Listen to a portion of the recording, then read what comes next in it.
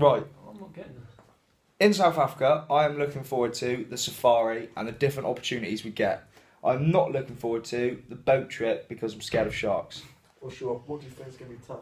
What's going to be tough is all the different coaching we have to do from like a different background that we're not used to. Uh, I'm looking forward to. I'm not even on the camera, mate. I'm, uh, I'm looking forward to the safari and uh, just getting to see the country. I'm not looking forward to the plane journey.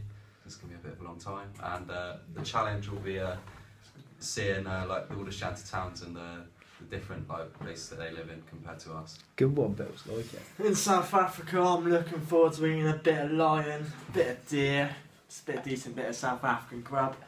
What I'm not really looking forward to is them mozzies at night. They uh, carry some rare diseases I don't really want to get. What's going to be challenging? Well, I've got to try and understand Zulu and Ndebele language, which it's going to be a tough one as I've got an E in French. Ali, your turn. This is actually a serious thing. Yeah. Right, I'm looking forward to June boarding and the safari.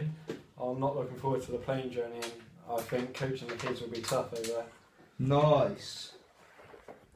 Big up to South Africa.